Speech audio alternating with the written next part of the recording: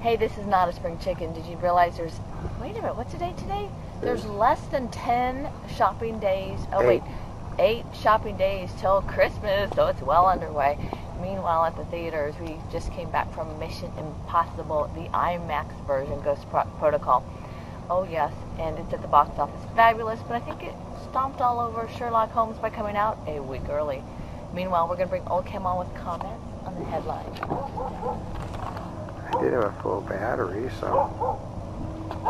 I know, can you believe this? Isn't this a gorgeous day? And while we're here today, you're going to see some, a few things that are a little bit different. Of course, Mission Impossible, Ghost Protocol. Mission Possible?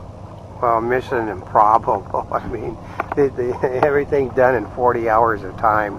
Yeah, but you know what? It does give you a lot of action, adrenaline, for adrenaline junkies, rush, action thriller. There's nothing like it. I just wish we could have seen it in 3D. Yeah, which is probably going to end up in. And Obama faults the GOP lurch into extremes. I know the guy is basic. Okay, he got his ass kicked on the budget bill, and he's so uh, nobody knows why he start decided to stage a battle to begin with. He staged a battle, lost on every front, and uh, didn't get his taxes, got cuts, and um, so they, they figured, but he's going to win the presidency on on his uh, on his attacking and against the Republicans as being extremist. And White House stands by the Medal of Honor award. Well, yeah, since uh, the trick is other people put the guy up for it, and Congress approves it. The president didn't do anything about that. President does not put people up for awards. Congress of the United States gives you the Medal of Honor, not the president, nor the military. Well, that's good. So then they're going to stand by it. Republicans muscle the tax cut bill through the House. Yeah, and uh, they're they're you know the, the the Senate basically what they did was they gave in because senators. Um, that wanted to get, you know, they basically they're running for their lives because of the Obama presidency. Uh, we're going to cave in and give the Republicans what they wanted, so the president decided to call a halt to it.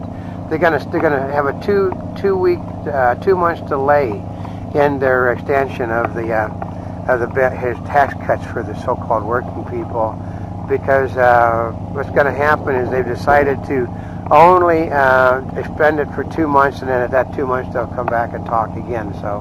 And no cell phones, no texting by drivers. The U.S. urges. Well, they're not only urged; they're going to make it a requirement now to drive on federal any any road that has uh, federal money, which is all of them, are going to be told that they can no longer have cell phones and television, no cell phones, radios, anything like that are going to be forbidden. No radio? That, I would assume that means no navigation. Either, no, right? nothing that can make, nothing that can distract you from the thing, which is funny. So, but the big yeah, boats are out today. Help you get from one point to another. Yeah. And Ron Paul gains ground, further stirring Republicans. Oh, he, uh, Ron Paul is never going to get. Ron Paul is going to go become an, uh, an independent or a libertarian candidate, whichever one that Huntsman isn't going to field.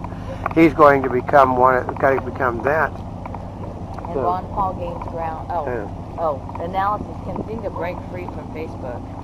Well, okay. They started out uh, with everybody that invested in the company previously losing four dollars a share on everything that they'd already previously owned. Oh, really? So it's a bad. People lost a fortune today on their on, on their IPO, which was a disaster.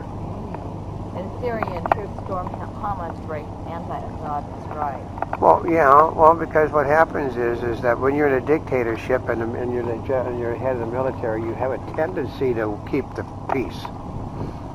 Yeah, and U.S. military chapter in Iraq draws to a close. Well, I know, and no, it doesn't, because we're going to have to. Uh, the United States is going to have to go back in probably in four or five months because uh, the uh, Iranians are going to just simply sweep over a lot of the country. Oh, really? And basically, what what Obama did was took a war that basically was a cool war, and now he's getting ready to make it hot because I promised the people by this time. It is amazing that the, by the time that he had promised in his last election the American troops would be out, they're all going to be out, even though nobody wants uh, wants everybody out. They wanted to leave a, a strike force behind, and Obama's even taking a strike force out.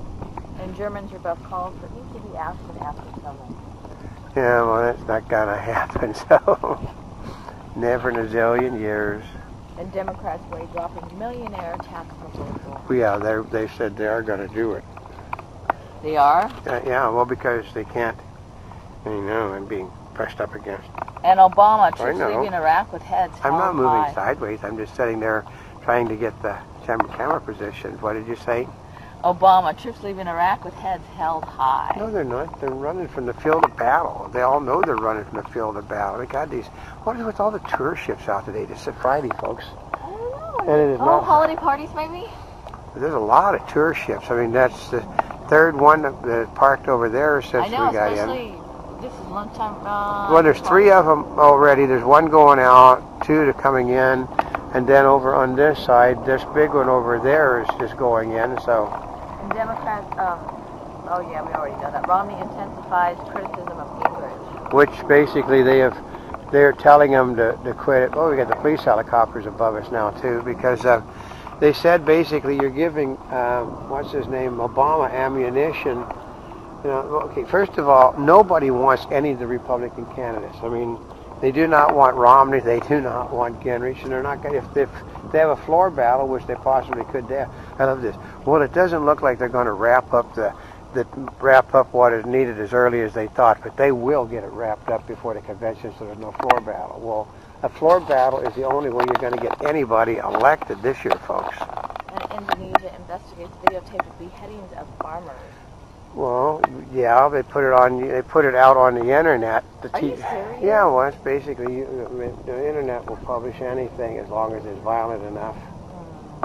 And Batman star roughed up a bid to visit Chinese activists. Oh, you don't think that isn't as phony as can be? Well, the guy got static for um, for making a film that's a Chinese propaganda movie for the Chinese government, and then he gets roughed up by the same government because he wants to visit an activist. No, what happened was he needed to try to get his credibility back with the people uh, in the industry. So he goes. Oh.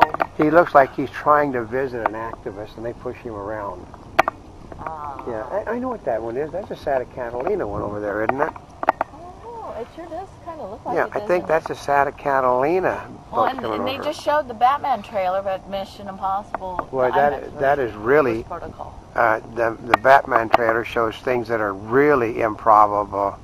I mean, I, I, you go see it, get you go see it, you won't believe it, folks. It, It's actually worth just seeing what they're doing. Yeah. It's like, what in the world is that? we actually had some people in there that uh, were basically there to see nothing. They were taking notes on the trailer, so France, Carlos the Jackal, another life prison. I know they're, they basically have a judicial system that says you can't just keep adding sentences on the people without a trial, folks. You got to have a trial. Yeah, so what is this? Another life prison? Well, because the Carlos the Jackal has killed a lot of people, but you can only even under under a democracy judicial system, you try a person for each set of crimes they commit. If you want to send him to another another time, you got to try him again. They just simply said, okay, what's the bother with the trial? We'll just simply sentence him to another life imprisonment. You know, you only have one life imprisonment. Suspect in custody after shooting at Chinese consulate in L.A. Yeah, you know, so I don't know why they would do that because now the Chinese are pissed off at the United States as it is. They, they're basically putting massive tariffs on all American car products going over to China oh, now Are they? to teach Obama that they basically are in charge. Well, I mean, he lectured them at that, that money summit, remember? Oh, yeah. They really that. don't like being lectured by people like Obama. I, I love this again. I heard this this morning that uh, we, you know, the Chinese government does not like being lectured by someone's servant, is what they called him. Ooh. Yeah. And small plane crashes in the front yard of Phoenix home one day. I know. Lucky it wasn't more than that. You know, Christ. You know, they- they got streets and stuff, folks. Land in a street, don't land in a house. Provocative author, author Christopher Hitchens dies at 62. I just didn't like. I mean, he's naturally he's a mainstream author that author that hates total religion. So because he hated religion, it made him a big shot. Are you serious? Yeah. Then Philippine police rescue four-year-old U.S. boyfriend kidnappers. I know. Well, uh, basically, it means they paid somebody off. If you're rescuing people from those kidnappers, they have a tendency to keep you or kill you. Mm-hmm. The New York Times CEO stepping down without explanation. Well, uh, because uh, she, okay, let's put it this way. She'd made the statement that uh, that they'd paid off the money they borrowed from the uh, Mexican news newspaper magnate uh, early, right after they declared the second straight 120 million dollar loss. They couldn't possibly have paid him back his money because they're not making any money. Oh. And I think it was probably a bad set of timing saying that the, we've paid the money off, and then the very same day they paid the money off, they said they suffered another loss, and basically they have to go borrow more money. Could U.S. drivers ever abide by a cell phone ban? No, because they don't pay any attention to the fact they're not supposed to text or talk on the phones now. Or, or what the speed limit is? Don't pay, don't pay any attention to the laws, folks. So And fallout from FAMU, Georgia High School, sus- suspend bans? I know it's just uh, uh, it, it, it- basically they were they were a little naughty, so they got in trouble. And six Waltons have more wealth than the bottom 30% of Americans. Well, which is totally an aptly a fabrication because their wealth at the bottom, 30%, they said it was 50 to 70 trillion dollars. The the value of my of uh, value of the family's wealth is 90 bi- 90 billion. Anybody have an idea what a billion, what a trillion is? It's a, I think it's a, it's a million billion. Seems rather improbable. It's sort of improbable. Yeah, you'd had to have, uh, you know, but that they try to make it look good because it was, uh, it was basically a piece by one of Obama's advisors to make it look the wealth, the wealthy control everything. No, they don't control much of anything. Okay, you see this out here, folks. This a lot of this stuff is not owned by the wealthy. This is owned by people that have nine to ten jobs and work in garages and stuff. They just look like they have lots of money. And according to Obama supporters, GOP candidates get Obama policies wrong. Yeah, I love that. yeah, that he's actually for the middle class. He's pro-government. He's not big regulation. Are you serious? He's, he, I know. I mean, he, you know, all the things that they keep saying is not him. That's somebody else. That, that, that's Republicans. You know, the Republicans are anti-business. Republicans are are anti-growth. The Repub- yeah. And Obama mark, marks Iraq's wars and with a salute to troops. Well, yeah. Basically, he told people, you all came over and you all died for nothing because you're going to have to go back again very shortly. And a Montebubbleism from the Mark Twain of the Animal Kingdom. Sometimes you wait till it's too late to do what has to be done.